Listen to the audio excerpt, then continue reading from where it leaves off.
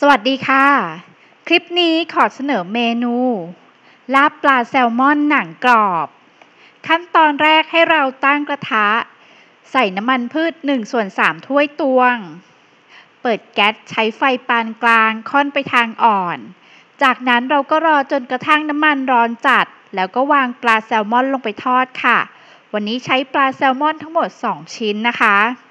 แล้วก็โรยหน้าด้วยเกลือป่นเล็กน้อยเพื่อเพิ่มรสชาติให้กับเนื้อปลาค่ะ จากนั้นให้เราทอดปลาไปจนกระทั่งสุกถึงเนื้อด้านใน และทอดจนกระทั่งหนังกรอบนะคะ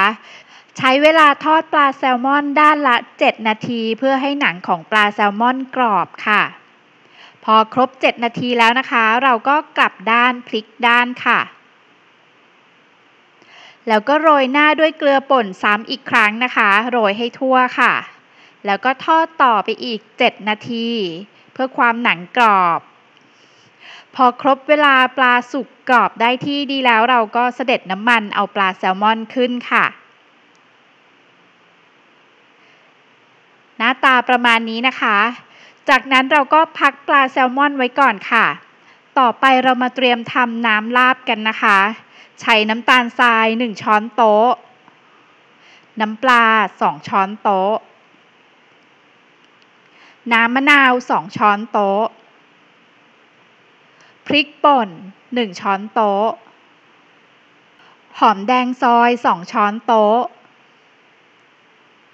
ผักชีฝรั่ง 2 ช้อนโต๊ะ ต้นหอมซอย 1 ช้อนโต๊ะ จากนั้นเราก็คนส่วนผสมให้เข้ากันจนกระทั่งน้ำตาลทรายที่อยู่ด้านล่างละลายจนหมดค่ะ จากนั้นเราก็ใส่สิ่งสำคัญนะคะข้าวคั่ว1ช้อนโต๊ะค่ะ แล้วก็คนให้พอเข้ากันอีกครั้ง จากนั้นเราก็นำน้ำลาบนะคะ มาราดลงบนปลาทอดที่เตรียมไว้ค่ะ ราดลงไปให้ทั่ว แล้วก็โรยหน้าด้วยใบสะระแหน่เล็กน้อยค่ะ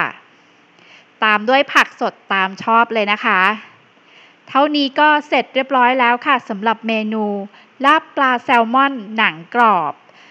รับประทานคู่กับข้าวสวยร้อนๆข้าวเหนียวร้อนๆหรือจะเป็นเส้นหมี่ลวกหรืออื่นๆ ได้ตามชอบเลยค่ะ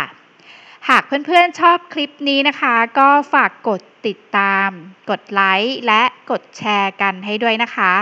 ไว้พบกันใหม่คลิปหน้า สวัสดีค่ะ